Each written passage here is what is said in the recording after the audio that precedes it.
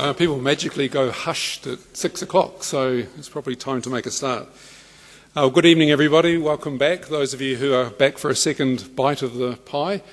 Uh, some of you must have been here last night because you started turning up much earlier tonight to make sure you got a seat. So uh, it's good to see. I'd like to just acknowledge the presence of the Chancellor of the University, Ian McKinnon, who's also a member of St John's. So he has a foot in both camps that uh, this lectureship is intended to serve.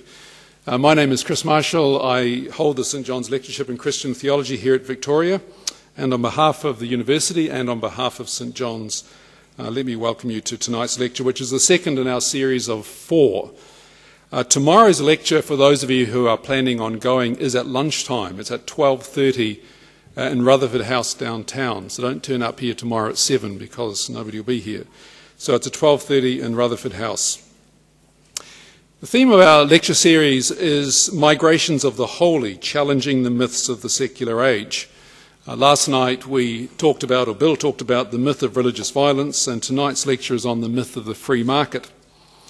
Our speaker, and I need to introduce him a second time, he'll get very sick of being introduced because I'm going to have to do it four times, but some of you won't have been here last night, so um, I'll have to do it again. But Bill uh, is the inaugural St. John's Visiting Scholar in Religion here at Victoria.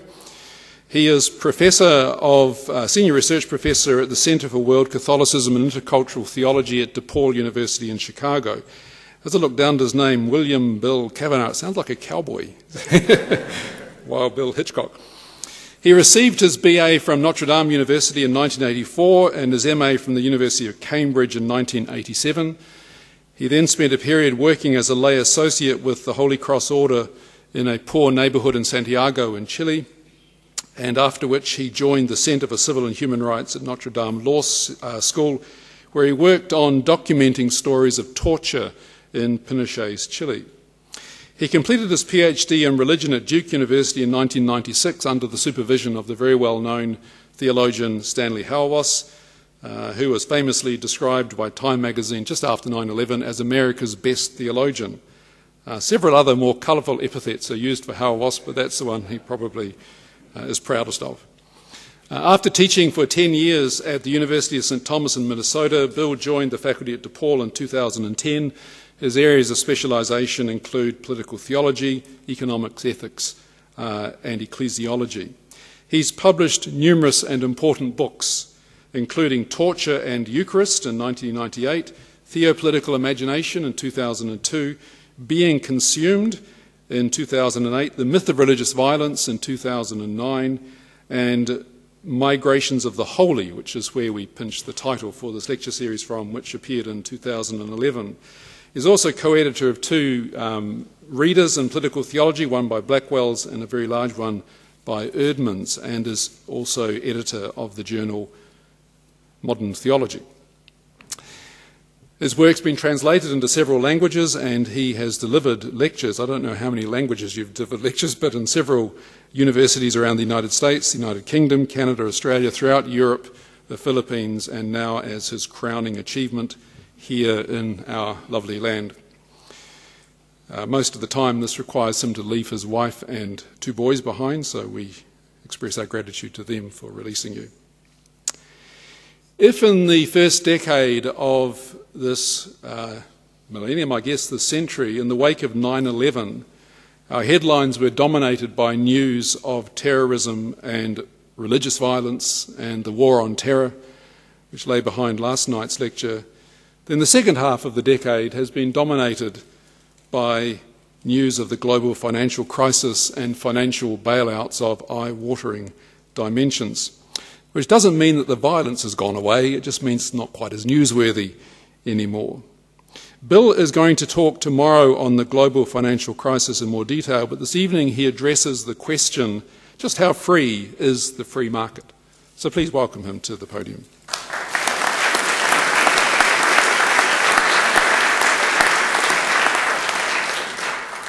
Well, thanks again, uh, Chris, for that kind introduction. And uh, thanks again to my hosts, thanks to the Chancellor for coming out tonight, and uh, for all the people that have made me feel so uh, welcome uh, here in New Zealand. Uh, it's been a, a, wonderful 48 hours so far, and I, I look forward to meeting uh, more of you here. For those of you that were here last night, I salute your masochism for coming out a second night, and I hope not to let you down. Um, I, I just want to say one word of appreciation for Chris. I hope you appreciate um, what you have here in Chris. I just finished uh, reading in manuscript his new book on restorative justice, and it's really an excellent uh, book. So run right out and order it. Don't wait to see the movie. Um, it's, uh, it's terrific.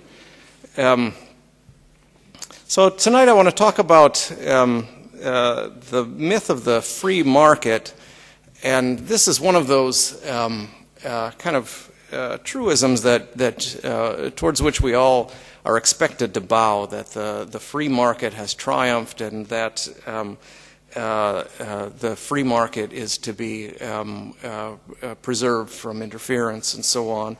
This um, last night's lecture uh, was more political, and these next lectures are going to be more economic. And I suspect that in some ways, uh, the economic lectures are going to be more uh, relevant to the New Zealand context. This, the sort of ideology of the free market, I imagine, um, uh, is the kind of um, ideology that was behind the uh, free market reforms in New Zealand from the 1980s and onward. So I think uh, perhaps we can we have some uh, um, points of connection there.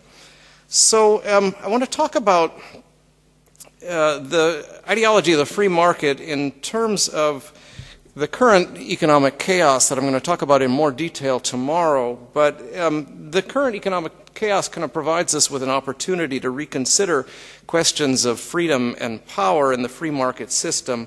And what I want to look at is two prevalent attitudes in, um, the, towards the free market today.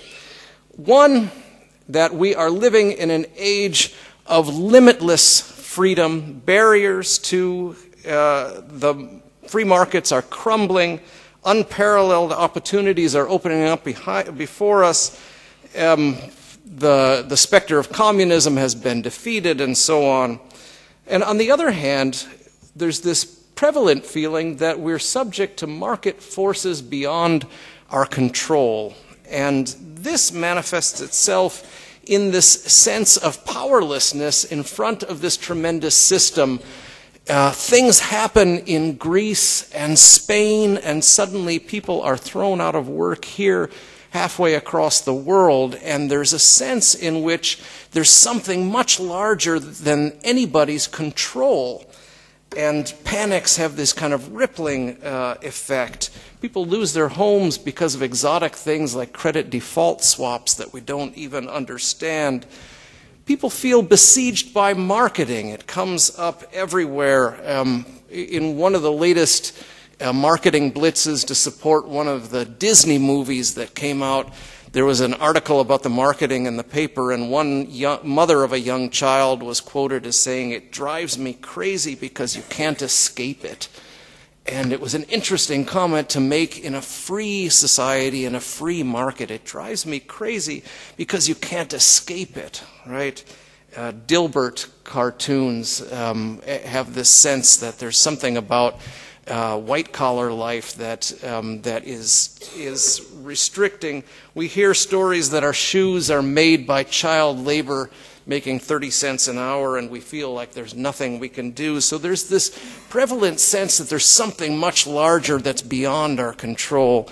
And I'm wondering if these two attitudes are related in any way that we're living in an age of limitless freedom, and on the other hand, we are subject to these market forces that are beyond our control.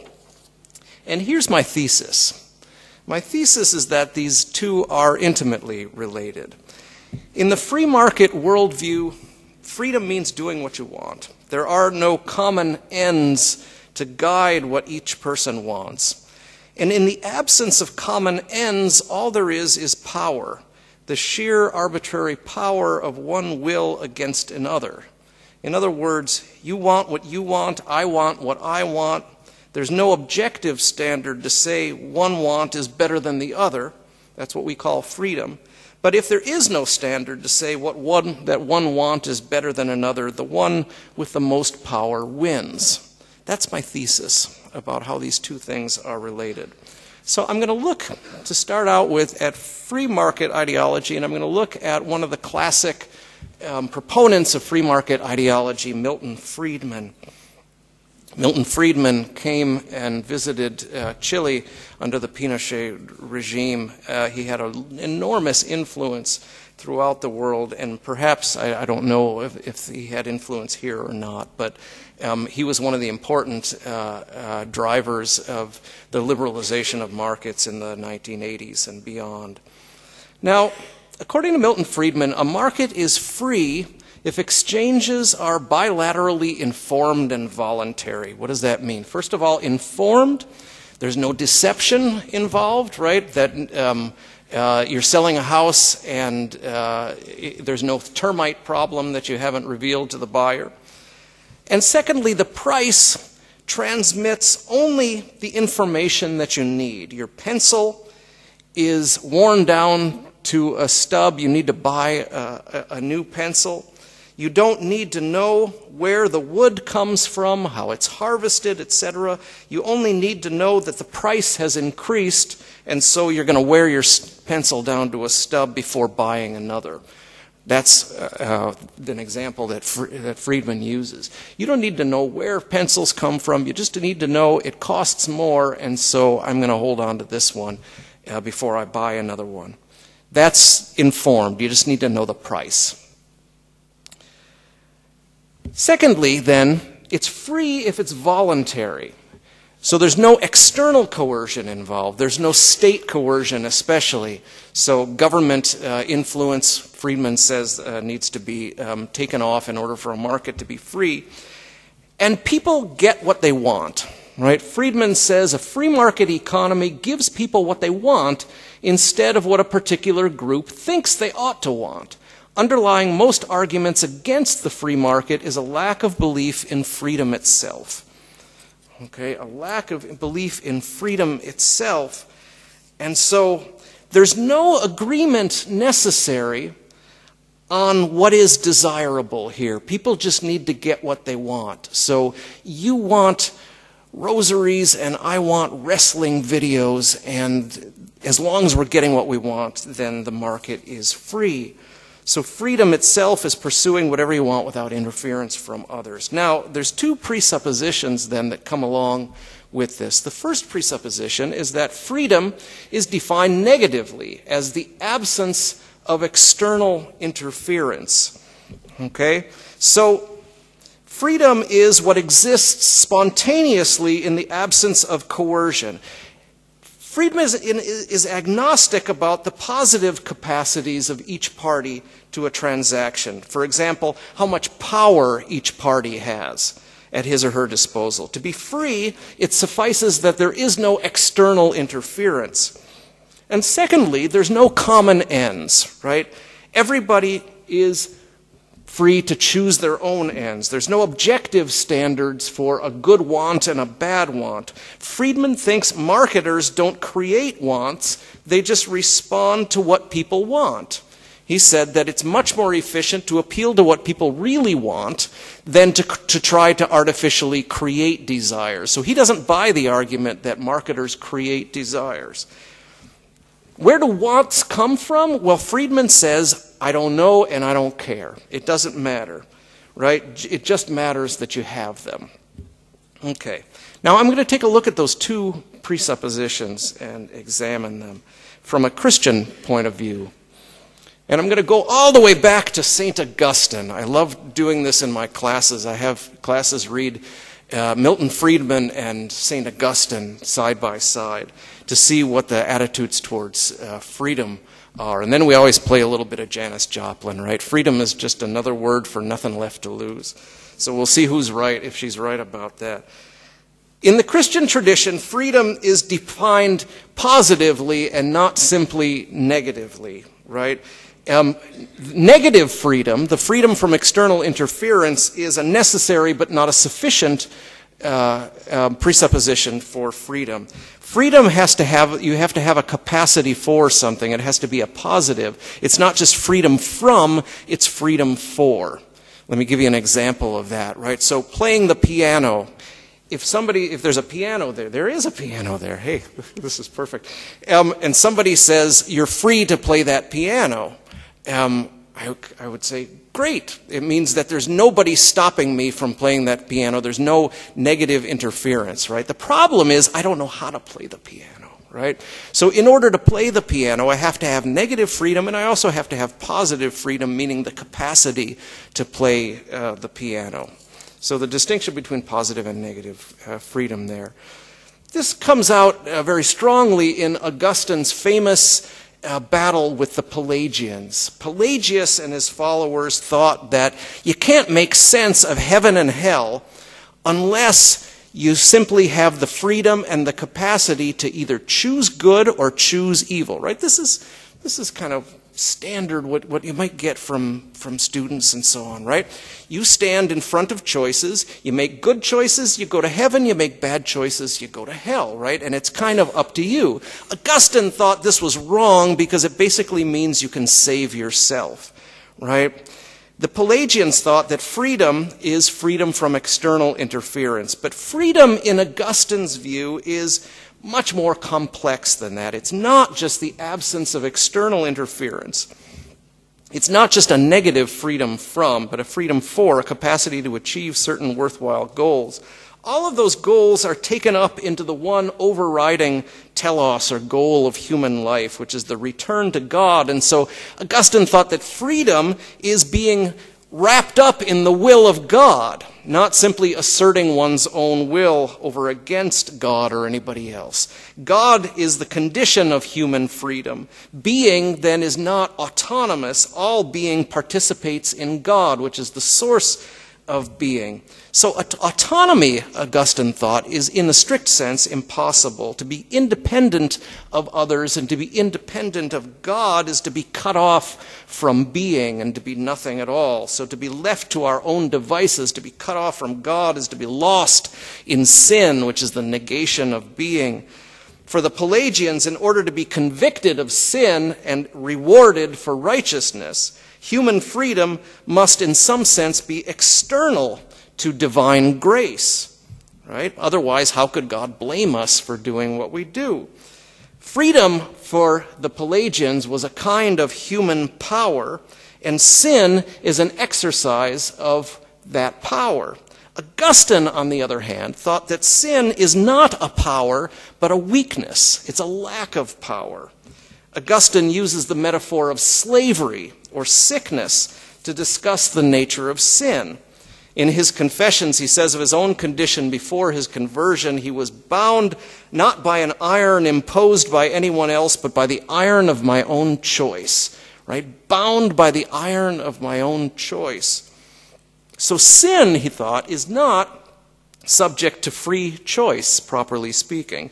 So the alcoholic with $20 in his pocket and an open liquor store is free in the negative sense to get what he wants, but in the positive sense, he's profoundly unfree. He's enslaved to his addiction uh, in that sense. So to regain freedom for the alcoholic is not to leave the alcoholic alone, right? He could only be free by being liberated from false desire and moved to desire rightly. And this is the sense in which Augustine says quote, freedom of choice is not made void, but established by grace, right? It's not God interfering, but it's God establishing freedom through grace, since grace heals the will whereby righteousness may be freely loved. Freedom is something received and not simply exercised. Let me say that again. Freedom, in Augustine's view, is something received and not simply exercised.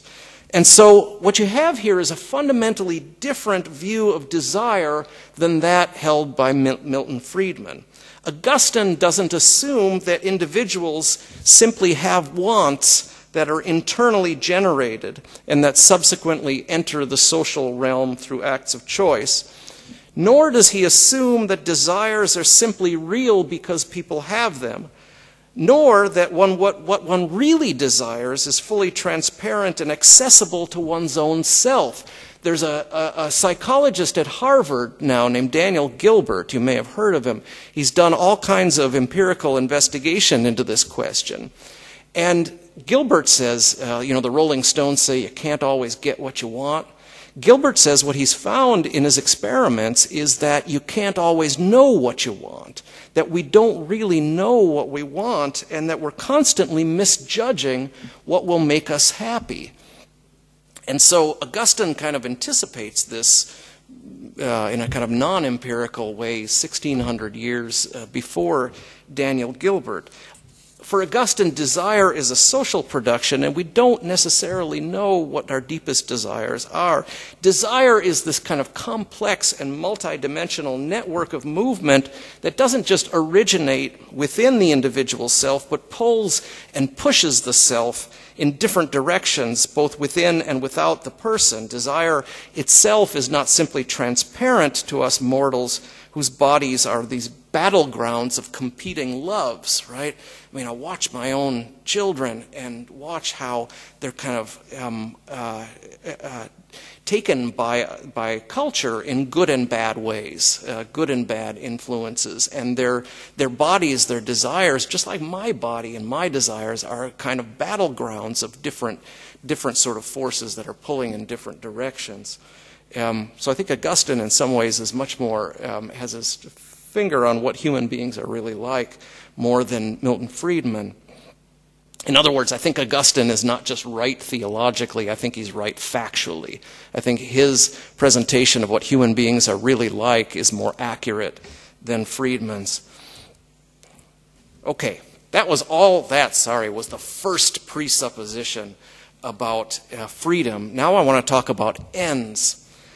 Um, all of this indicates that there are true desires and false desires, and we need a, a telos, a goal, an end to tell the difference between them. Whether something is free or coerced depends on objective ends. In other words, it's not enough to say that someone is doing what they want without interference. The real question is is what they want a good thing or a bad thing? Right? Is the alcoholic wanting something good and is it therefore free or, or not? Um, and this is what Augustine, when he was dealing with the Donatists, um, I'm not going to go into that in much detail, but that's what he says. The whole question is whether schism be not an evil work. And sometimes Augustine thought that you needed to coerce people into the good, and I don't think that's such a hot idea, right? He thought that the Donatists could be beaten with canes in order to bring them back into the fold, and I don't think that's such a good idea. But the larger point, I think he was right about, and the larger point is that we need desperately not to be left to the tyranny of our own wills. So, whether or not it's coercion in a negative sense depends on whether the will is being moved towards something good or something bad. Right? The key to true freedom is not just following whatever desires we happen to have, but cultivating right desires. So, the point finally then is this absence of external force is not sufficient to determine whether or not an exchange is free. We have to consider the ends and have an objective standard for determining what's, a, what's good and what's not. We must be able to answer what really makes a person free in order to say whether a market is free or not. So I think that there's no sense in either blessing or damning the free market as such. The real question is when is a market free? And in order to answer that question, you have to have some sort of objective standard of good to which to appeal, even if we don't all necessarily agree on what that standard is. Now, what happens when there is no objective standard, no objective ends?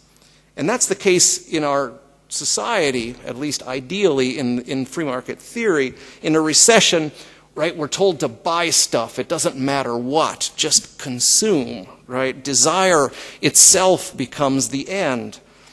And yet, Augustine says desire for objects cut free from their source and end in God is ultimately the desire for nothing, right? Um, Bruce Springsteen has a great song called 57 Channels and Nothing On, right? Um, everything is available and nothing matters. Uh, in, uh, that's that's a, a, dynamic in our society. Um, because choice itself is the only good, because desire is the only thing objectively desirable, then desire becomes a desire for nothing, right? People go and buy something and then it turns into a nothing and they've got to kind of go out and buy something else. Even if Augustine is right, though, about the need for objective ends to guide the will, the, question then that pops up is who is to say what those ends are, right? And there's no doubt you could take Augustine's view in a very paternalistic direction, right? We know what you really want, and we're going to organize society in this way. Um, and, and Friedman was right to reject that kind of planned, centrally planned economy, I think, right? I have no thought at all about endorsing a centrally planned kind of communist socialist uh, economy in that sense. Um, however, so, so the, the free market ad- advocates are right about that. Um, they'd rather that individuals make their own mistakes, that some will make bad choices is inevitable, and Friedman will admit that, but it's better to give individuals the freedom to damn themselves than to subject everyone to a power that is no more guaranteed than any other individual will to choose well, right? So they're right about that. And nevertheless, the idea that this type of economy that we're in is free is also problematic. The problem with the free market view or ideology is that it assumes that the abolition of objective goods provides the conditions for the individual will to function more or less autonomously. The reality, however, is different.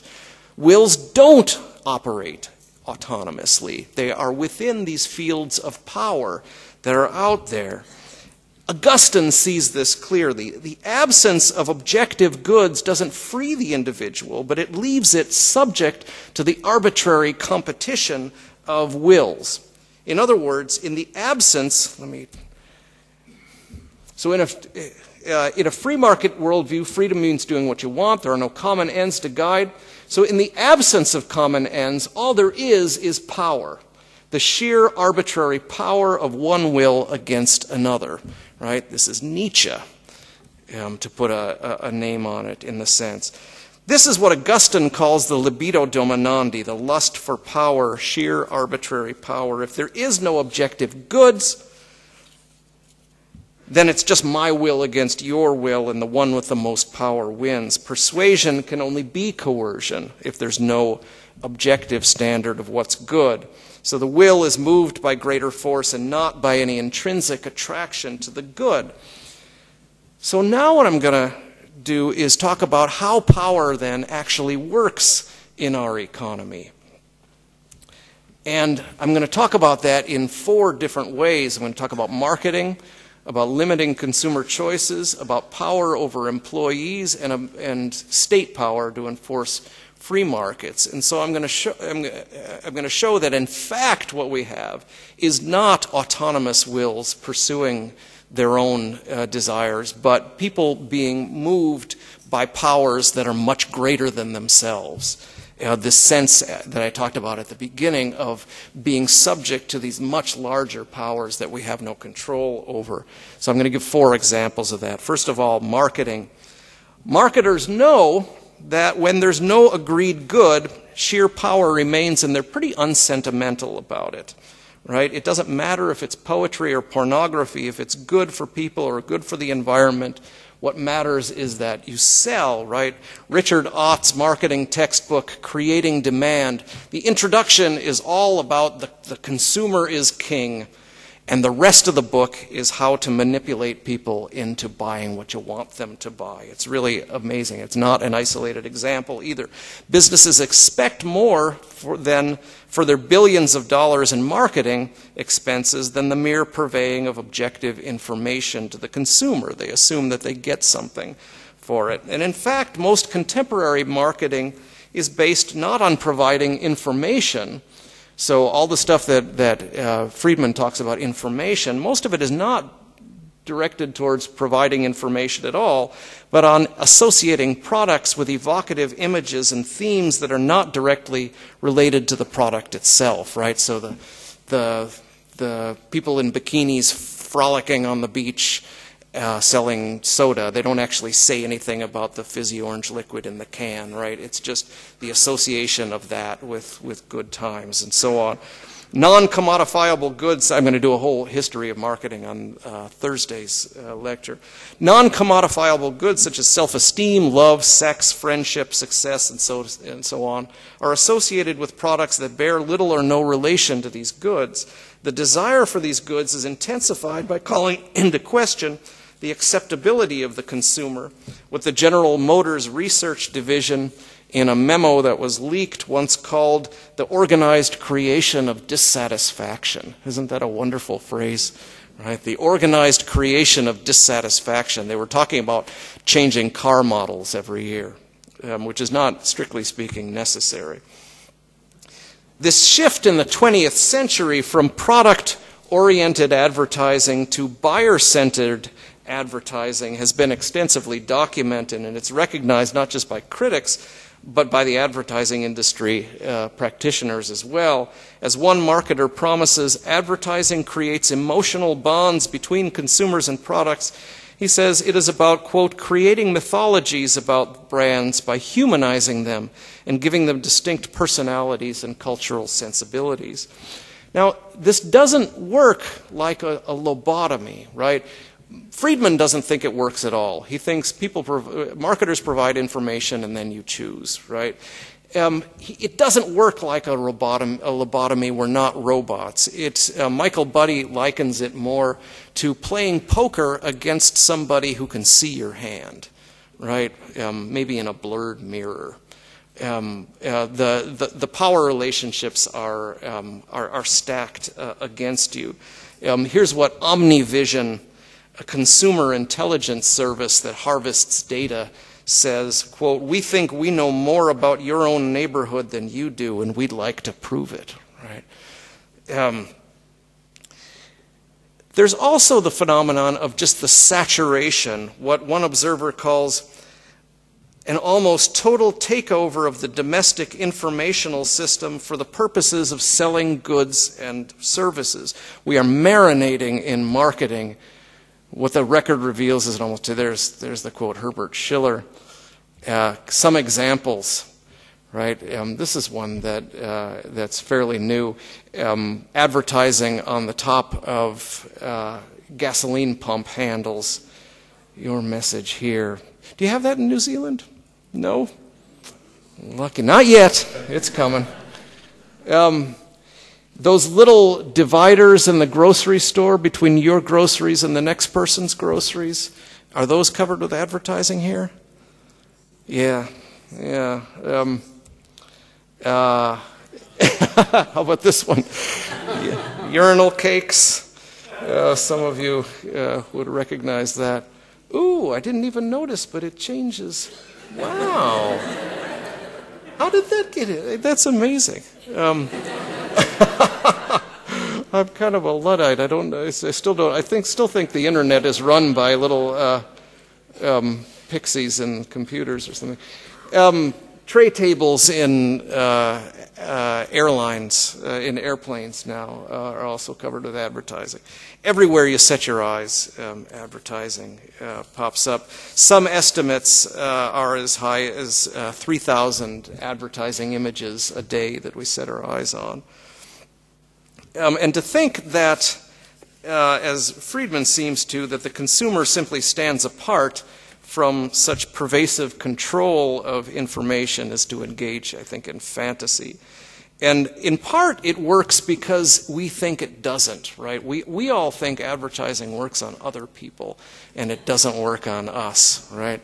And there's even a, there's a whole genre of anti-advertising advertising, right? Uh, Sprite, uh, image is nothing, obey your thirst, and so on.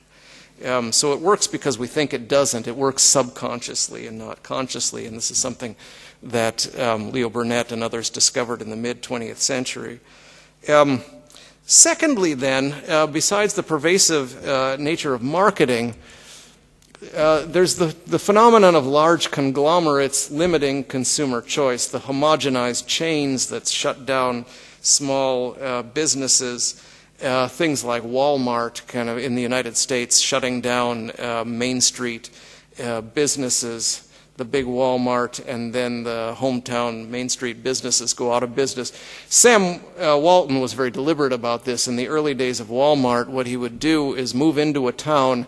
Uh, depress the prices for hardware in his stores until the hardware store went out of business on Main Street bring those prices back up, depress the, the um, prices for, you know, pharmacy or whatever until the drugstore in town went out of business and so on. Um, and so uh, uh, some people, so, so there's a, a, a way in which um, uh, the homogenization tends to, to restrict our choices rather than um, add to them. There's also a way in which um, the, the, the, larger um, the businesses are, they, they tend to absorb the smaller businesses and it becomes a shell game. There was um, Miller Brewing Company in the U.S. used to do an ad campaign that touted macro brew. It's time to brew, uh, to drink beer made in vats the size of Rhode Island was the, the slogan. And then at the same time, you had the Plank Road Brewery with a couple of people sitting, a couple of old fellas in overalls sitting around a warehouse talking about you know how small their brewery is and so on. And then you've got the Leinenkugel Brewery, where the Leinenkugel family talks about how it's been in the family for generations and so on. What you didn't see is that Plank Road and Leinenkugel were both owned by Miller, which in turn was owned is owned by a huge South African conglomerate, and so it all kind of ends up, you know, small breweries, big breweries, it all kind of ends up in the same place. Third example, power over employees. Here's some statistics from the U.S. In 1980, the average CEO made 42 times more than the average worker. In 1990, it was 109 times. By 2004, it was 430 times more than the average worker. And I think uh, the, uh, the statistics have increased uh, since then.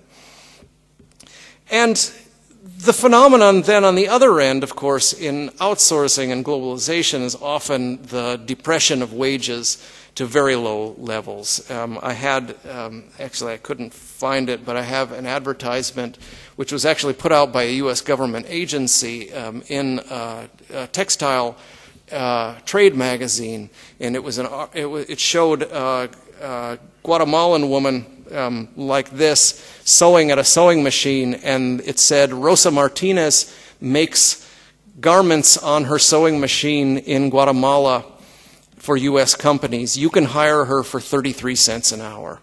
Right? This was being put out by a U.S. government agency, actually encouraging people in the 1980s, uh, I'm sorry, the 1990s to uh, outsource. Now, why do managers do this not just because they're evil, but because they feel coerced?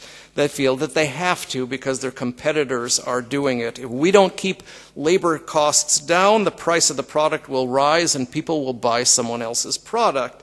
And so it assumes that consumers seek power over workers by simply seeking low prices, right? And meanwhile, managers seek power over consumers and workers in order to keep the prices low to appeal to the consumers. But there's a sense in which nobody wants to do this, but everybody feels compelled by the free market. And that's one of the ironies of the free market is the sense of coercion and compulsion that comes along with it. And you'll hear managers saying this, you know, we didn't want to shut down the plant here and move it to China. We're not bad people, but we feel compelled to do this by by market forces, these larger forces that are beyond our control. Um, meanwhile, Stockholders uh, seek power over managers and workers to keep stock prices up, and offering stock options to executives has been the favored tool for ensuring that the interests of the executives and those of the stockholders coincide. And as a result of this shift of power, executives have strong incentives to favor the concerns of stockholders over those of employees and the communities where they live. So, who owns the corporations? A question on which Friedman is agnostic, plays a crucial role in the dynamic of power. And then, fourthly, um, state power. Uh, uh, here's a quote by Eduardo Galeano about the era in the 1970s and 1980s where military dictatorships were taking over um, in South America and enforcing free market reforms. Uh, that's when I, I, lived in Chile in the 1980s, and that, that's what was happening there. Galeano is, is a Uruguayan, and his quote was People were in prison so that prices could be free. And that's uh, um, a, a, dynamic that we see over and over. Um, the main point, again, uh, there's uh, a scene from Chile, the coup in 1973. Um, the main point is this in a supposedly free economy, there are no objective goods, but if there are no objective goods, all that is left is sheer power and the coercion of wills to arbitrary ends. Now, the real question then is when is a market free? Is Rosa Martinez free if you can hire her for 33 cents an hour? If you take Friedman's definition at face value, then the answer is yes. Right? Her decision to take a job making clothes for American markets would presumably be both informed and voluntary, provided she was not deceived about the kind of work she would be doing or the amount that she would be paid. Presumably, no one would force her to take the job and no one would prevent her from leaving it. So both Rosa Martinez and her employer would enter into this exchange in the expectation of benefiting from it. The employer gets uh, low labor costs, and Rosa Martinez gets uh, an improvement over starvation. Now, the problem with this view is that it pretends to be blind to the real disparity of power that exists there while simultaneously stripping away the ability to judge an exchange on the basis of anything but power, right? Since any telos or goal or end or common standard of good has been eliminated from view. Nothing necessarily connects the employer's desires to Rosa Martinez's desire. In Friedman's view, to ask if this exchange serves the common good or if it's just is irrelevant to the question of whether or not the exchange is free.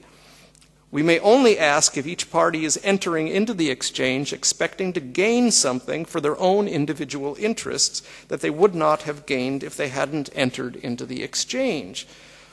Now, some free market advocates may wish to argue, on the other hand, that the exchange with Rosa Martinez is, is not free but an aberration in the free market system that will work itself out if the market mechanism is given time to operate.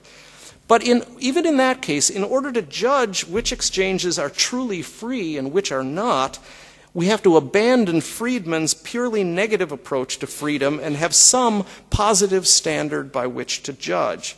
For example, if we admit that Rosa Martinez's exchange with her employer is voluntary and informed, and yet we still want to claim it's not truly free, we have to be able to muster an argument based on some standard of human flourishing and the ends of human life that's being violated by her working for less than a living wage. In other words, once we admit that freedom, defined strictly negatively, is inadequate, then we're pushed toward the recognition that Augustine and not Friedman was right. To speak of freedom in any realistic and full sense is necessarily to engage the question of the true ends of human life. Yet such ends are precisely what free market advocates would banish from the definition of the free market. So, to enter into judgments about the freedom of particular exchanges, we must abandon Friedman's definition of a free market and also abandon any claims for the goodness or badness of the free market as such. The real question is when is a market free? And for that, we have to have some standard of human flourishing by which to judge it. So, the real the real task is moving beyond the kind of ideology of the free market as such which is oftentimes just an empty slogan to make us feel good about the hegemony of corporate power. The real task is judging particular practices in terms of the ends of human life, particular judgments about what practices are freeing and what aren't. And let me give you just uh, briefly then two examples of how this might work. Um, New York Times reporter Bob Herbert visited a factory in El Salvador that made clothing for Liz Claiborne. The jackets sell for $178 a piece, in the U.S., and the workers who make them earn 70 cents per, 77 cents per jacket. So $178 they're sold for, and the women who make them, start to finish, make 77 cents uh, per jacket. The, va- the, factory is surrounded by barbed wire and armed guards. A worker interviewed after her 12 hour shift told of being unable to feed herself and her three year old daughter adequately. Her daughter drinks coffee because they can't afford milk. Both mother and daughter suffer fainting spells. The president of the um, company that runs the plant admitted to Herbert that the wages are inadequate. He said, If you really ask me, this is not fair. But he then offered a lesson in free trade by saying, quote, in the United States, if you want to buy a Honda Civic, you can shop around and you'll always find cheaper ones. And that, he said, is what his company was doing. We're shopping around the whole world for the cheapest labor price.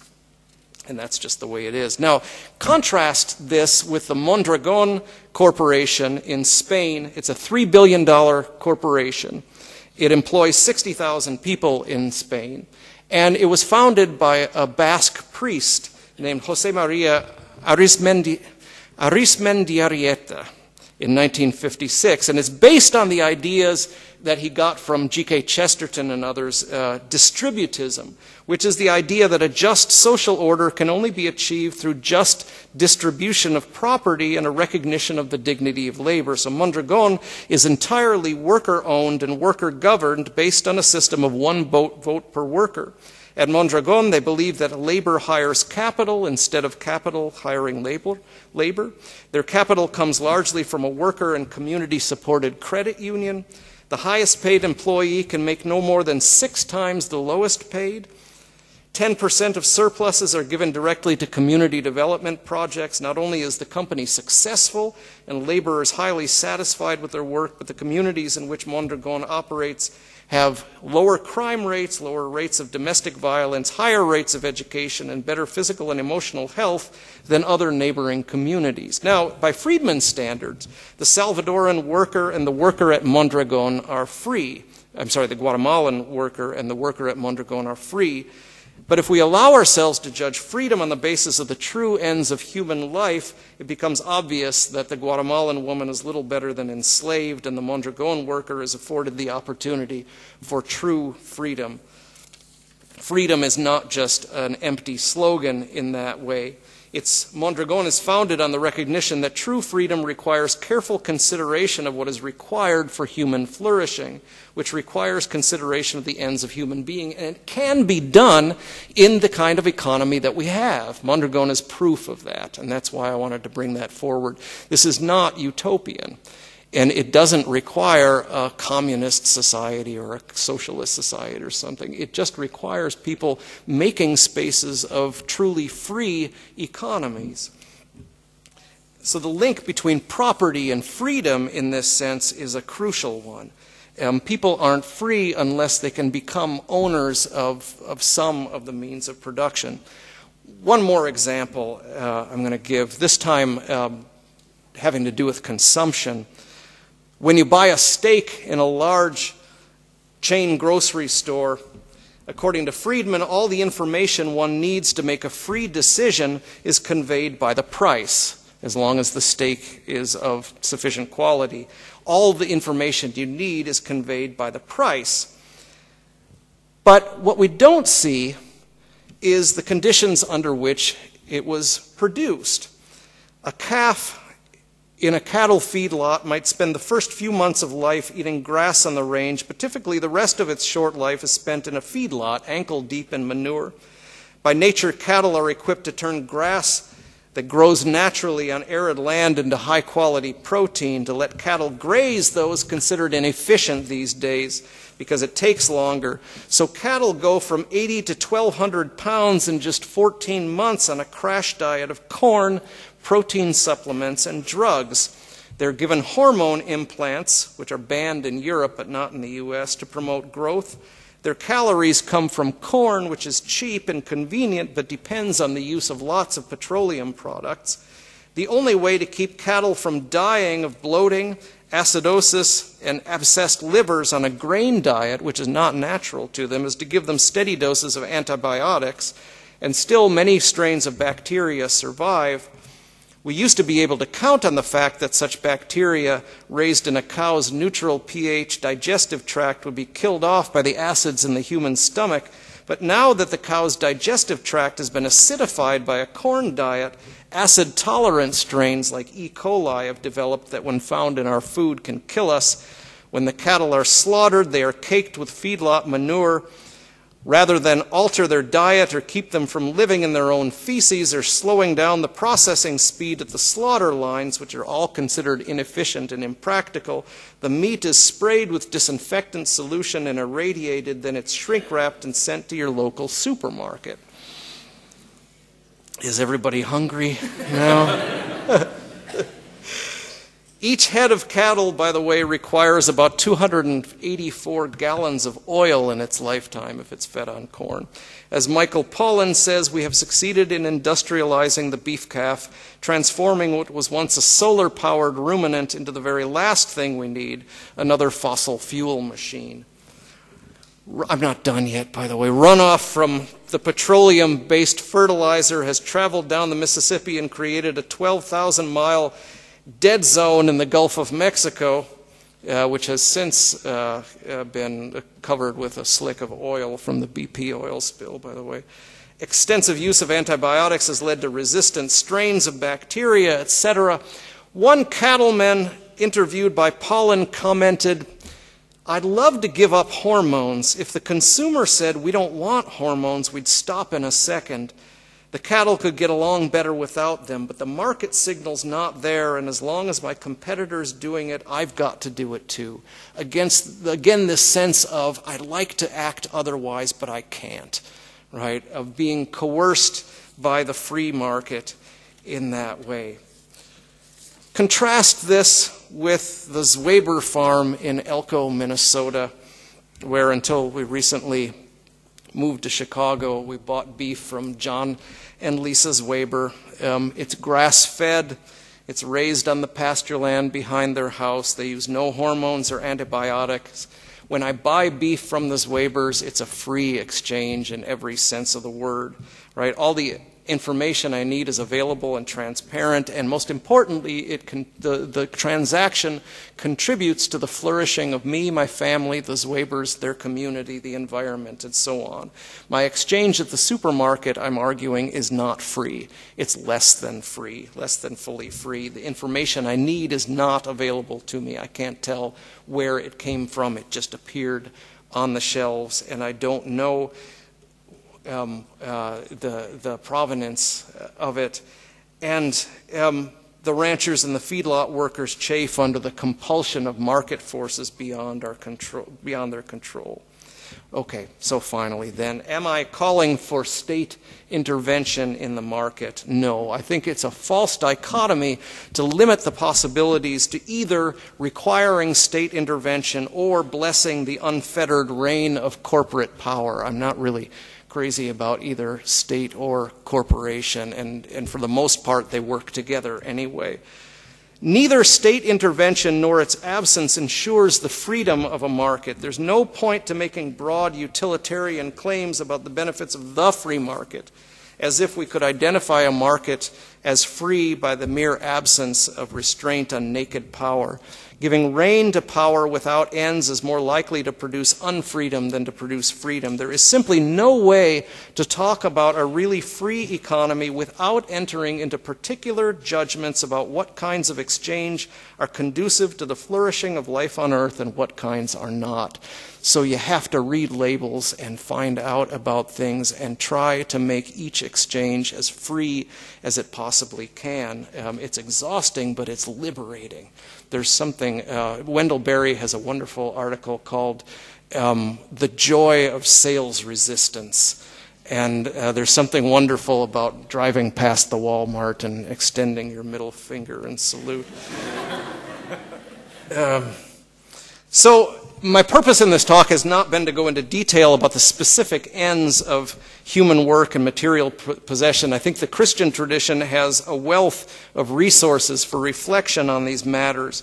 Um, and other traditions have resources as well. But I think it would be counterproductive to expect the state to attempt to impose such a direction on economic activity. What's most important is the direct embodiment of free economic practices. So um, from a Christian point of view, I think the churches need to take an active role in fostering economic practices that are consonant with the true ends of creation. And this requires promoting economic practices that maintain close connections among capital, labor, and communities so that real communal discernment of the good can take place. And such are spaces in which true freedom can flourish um, one example of that, my church in St. Paul, Minnesota, was part of a cooperative of small family farmers that marketed through churches uh, in the, the Twin Cities. And there you find kind of um, real uh, exchanges where um, something other than just uh, prices, um, uh, but a real consideration of what benefits all involved um, was was evident, and so I think um, those are the kinds of spaces in which true freedom can flourish. Thank you.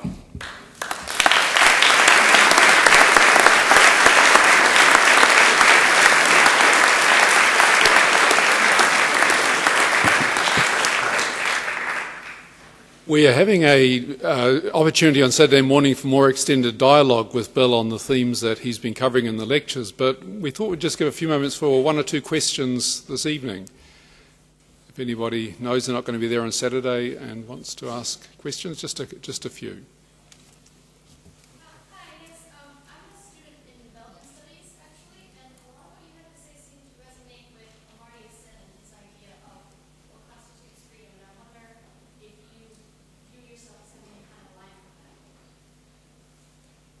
Um, yeah, I have to confess that I haven't really read Amartya Sen. I know that I, am supposed to, and I, I, guess I ought to. Um, but yeah, no, I, from what I understand, he's very much uh, on the same track. He doesn't, um, I think, provide um, uh, as much of a kind of um, uh, uh, tradition-based uh, reflection on what the actual goods um, of, of, people are, but he does try to provide a kind of general consensus on what um, uh, what uh, leads towards uh, human flourishing, and I think that's very much kind of on on the right track. And I think um, individual uh, traditions, people that are invested in in specific traditions, need to mine those traditions for the sorts of resources to create um, different kinds of economies that. Um, that uh, th- that bear out what what we in fact think freedom is. Yeah. Thank you. Yeah, yeah.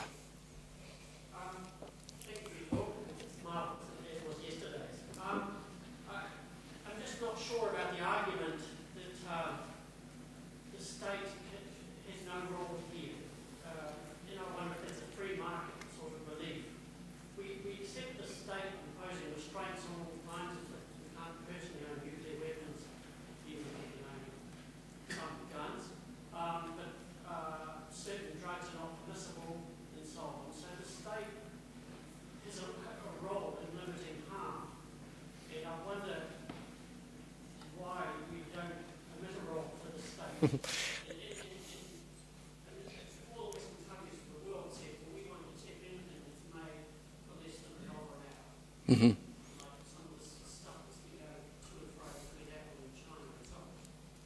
Yeah, good, good question. Um, I, I, probably overstated my case uh, in the talk. I don't think I would want to say that there's no role for the state uh, in the immediate um, uh, um, uh, situation or in the immediate aftermath of the kinds of things that we saw, the you know the meltdown in 2008. Um, I tend to be kind of an anarchist when uh, it comes to these sorts of matters. I, have developed critiques uh, of um, the state, and um, and I think in some circ- I think we need to be wary of state involvement. But I think in in the short term. Uh, there are times in which state intervention is the lesser of, of two evils.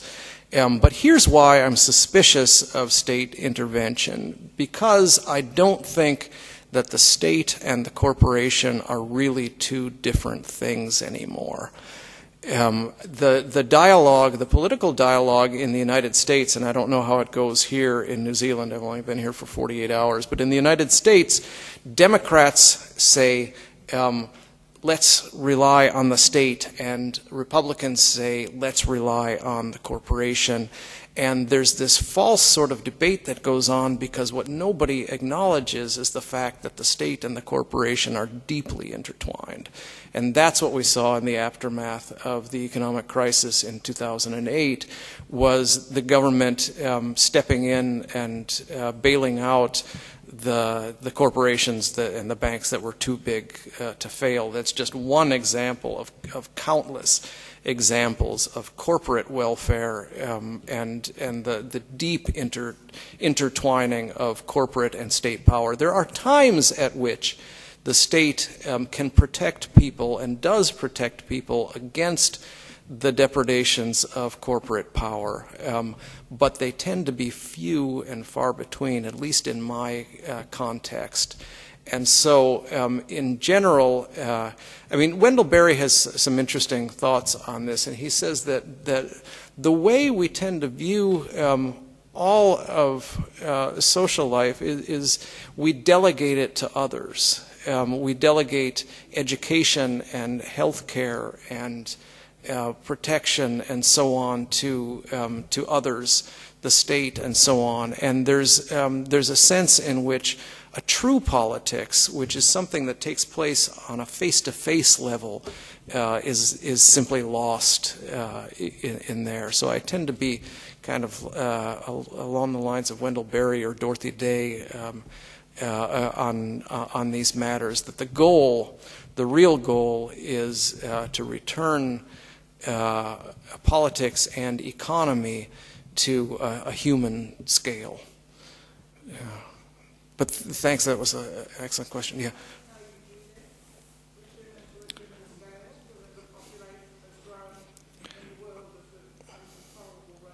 Right. Um, so the question was, how do you do that? Um, in my book, Being Consumed, I give uh, example after example. I try to be very concrete about that and give many examples of that.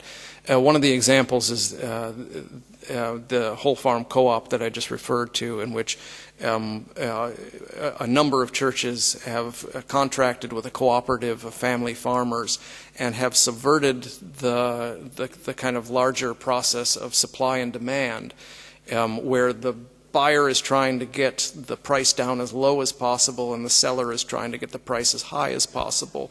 And instead they meet in a kind of community and say, what's a just price, right? This is the way that it worked ideally in the medieval uh, era. I found this wonderful. Um, I stayed uh, with my godparents um, a few years back and discovered um, an old Catholic school geography textbook from 1952 in the bedroom that I stayed at. And um, it was called World Neighbors, and the section on e economics is just wonderful. The section on economics um, talks about um, how in the Middle Ages, people set the price based on the just price, but today it says indignantly, people think that prices ought to be set by supply and demand and that you could beat down the seller to as low as prices you can get and so on, and that this just isn't justice. And the wonderful thing about this is not just the sort of romanticized view of the Middle Ages, but the idea that we were actually teaching this to Catholic grade school children in the 1950s. Now, the, my, my kids go to Catholic grade school, and the geography textbooks that they read are exactly the same as the ones that everybody else reads in uh, public school. So there's no, we've lost our imagination of trying to produce a different kind of world and it requires these acts of imagination. I mean, there's no large scale, I think, um, solution to this question. There can only be small scale solutions to the question because the scale of it is part of the problem to begin with. And so the only thing I can do is provide these kind of small, homey examples of the, the Zwebers and the farmers markets. I mean, where, where this has really taken off in the United States is this kind of consumer revolt of, of localism, right, um, around the issue of food. And it's one of the most significant kind of consumer revolts um, over the last uh, few decades. And, and it's, it's really significant because it gets at the heart of trying to kind of reclaim a certain sense of freedom and control over um, over our economic lives um, that people feel has just simply uh, been lost. And, um, and there's a great sense of joy uh, in this, a tremendous sense of joy of getting to know the farmer and um, eating things that you know where they come from and, um, you know, going out to the farm and, and uh, you know, the, our kids got to know the farmer well, and um, and all of this brings a, a, sense of joy and connection that is oftentimes uh, lost. Um, but I d- I don't think there's anything else we can do but simply create these sorts of spaces of economic freedom and then hope that they grow and then create more more of these kinds of spaces. Yeah.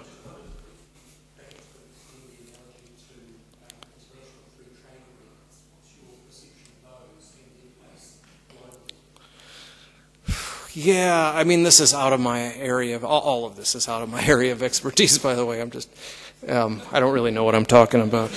Um,